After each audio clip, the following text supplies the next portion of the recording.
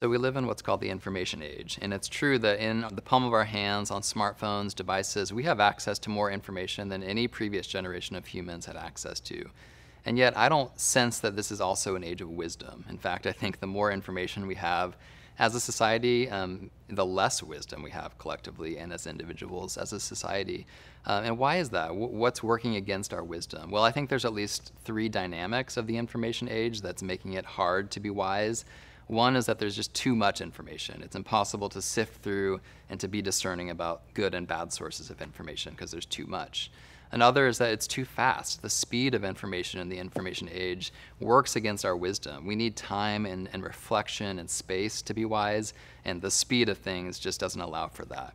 And then finally, information is oriented around the individual and that works against our wisdom. Uh, our, our culture already has this idea of kind of look within yourself. You are the best source of, of truth. Trust yourself, follow your heart, and the algorithms now kind of feed into that by orienting every source of information around you as an individual. So that's not helpful for our wisdom. So, what do we do about this? In this world where information is kind of actively making fools of us, how do we become wise? Well, I think that we start by kind of auditing our sources of information. Where are we looking? What voices are we listening to? And then we need to think about okay, what are the sources we can trust? And where are the good, healthy, nourishing sources? And what are the bad sources?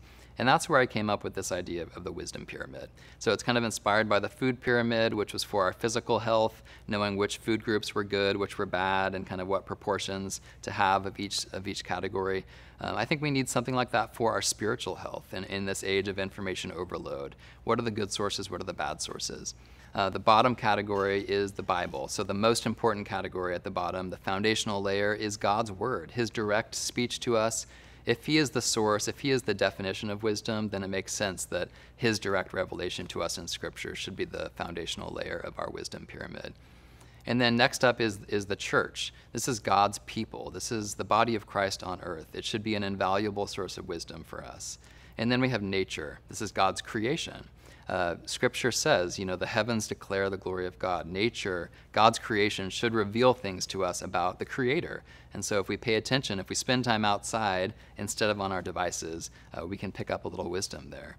And then books. This is kind of an obvious one if you think about becoming wise, read books. Um, but I think especially older books, books that have stood the test of time, is important for our wisdom.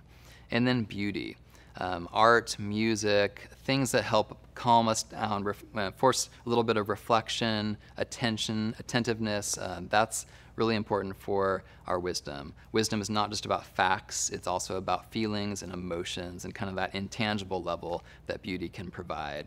And then finally, at the top of the wisdom pyramid, which is the least important category, is the internet and social media. Um, it's not that there that can never be a source of truth, but we need to be careful and we need to use it sparingly and not a, not make it like a staple of our diet, which is part of the problem. I think we flipped the pyramid in a lot of our lives so that the internet and social media does kind of occupy that base layer, and it really needs to be in its proper place uh, at the top. So that's it. That's the wisdom pyramid. Um, you know, it's really just a guide um, to help us be discerning in our media habits in the things that are speaking into our hearts and minds.